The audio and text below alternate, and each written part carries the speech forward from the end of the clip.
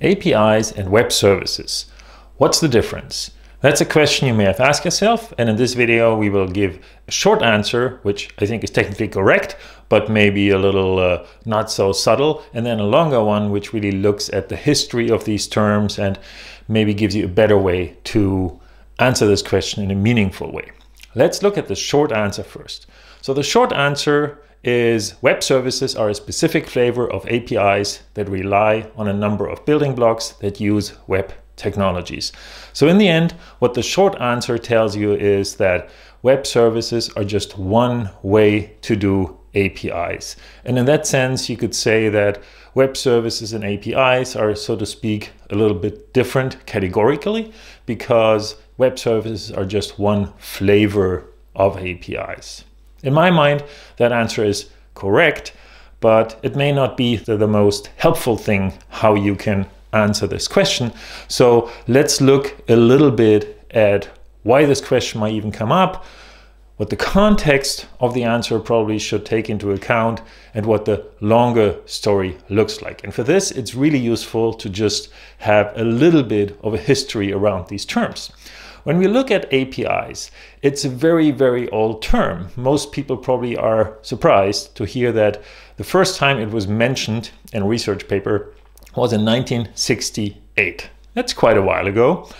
And it was mentioned as something where program interactions would take place. In that paper, it was a program that was about graphical representations, and the program then would interact with a system that would display those graphical representations. So it is this fundamental idea of two software components doing things and interacting, but it was for the longest time this term was used for local APIs, meaning APIs where the two programs interacting are on the same computer.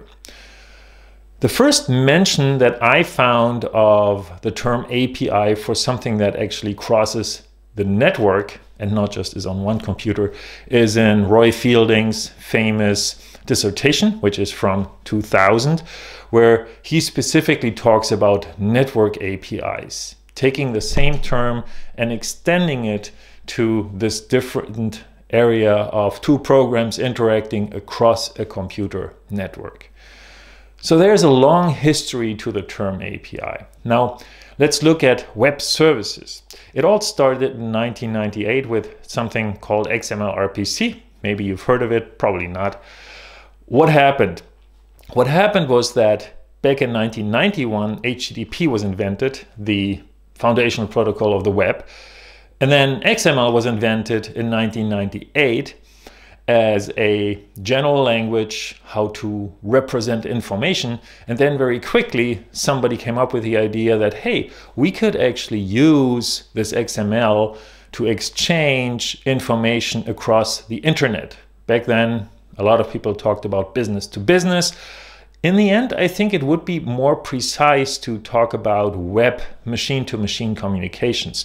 This idea of using XML over HTTP to make two programs talk to each other is something that was the first time that web technologies were used not just to have a browser communicating with a server, but to have, so to speak, two servers or two applications just talk to each other and exchange structured information. Now XML RPC was not very successful. It was very, very minimal and very quickly it was replaced by something else called SOAP. You probably have heard of SOAP.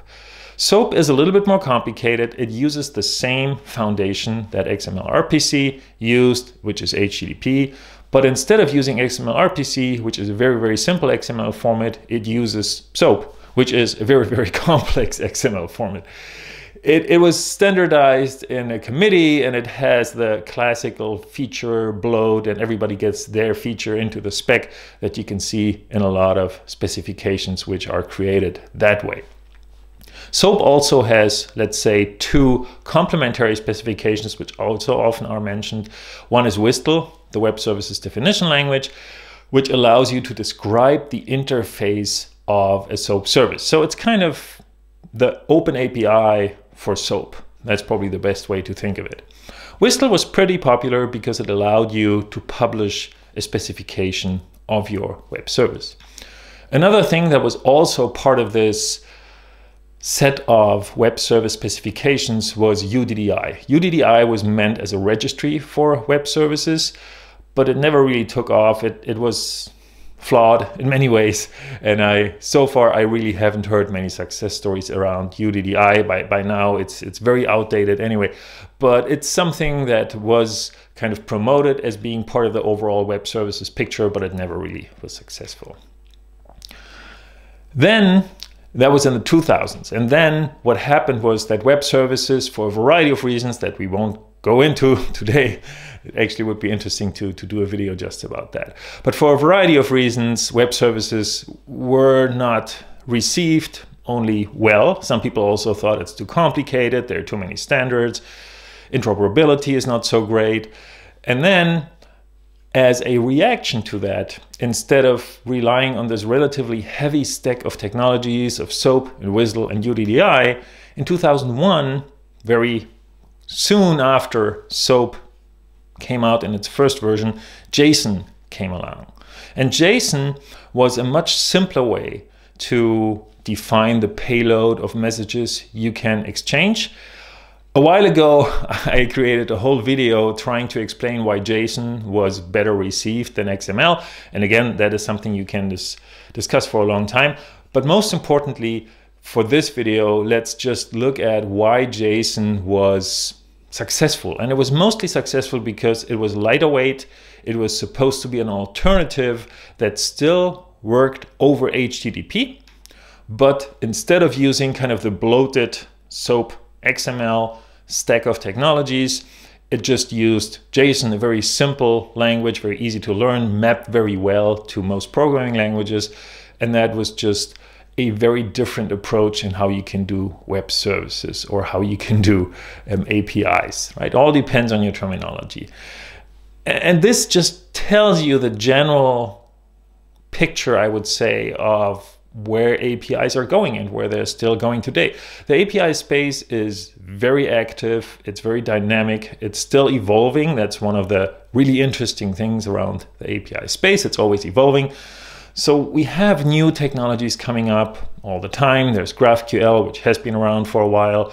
There's something like event-driven APIs, which also have been around a for a while there are all these different styles that, that you can have. There's something like gRPC as well. So we won't go into all these different technologies, but as you can see, it is a space that evolves rapidly.